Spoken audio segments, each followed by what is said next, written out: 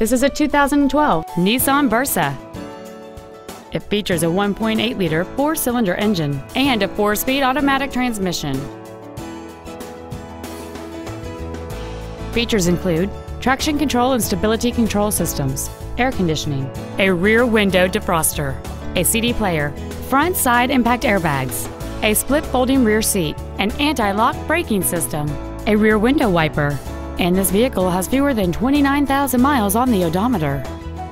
With an EPA estimated rating of 32 miles per gallon on the highway, fuel efficiency is still high on the list of priorities. Contact us today and schedule your opportunity to see this vehicle in person.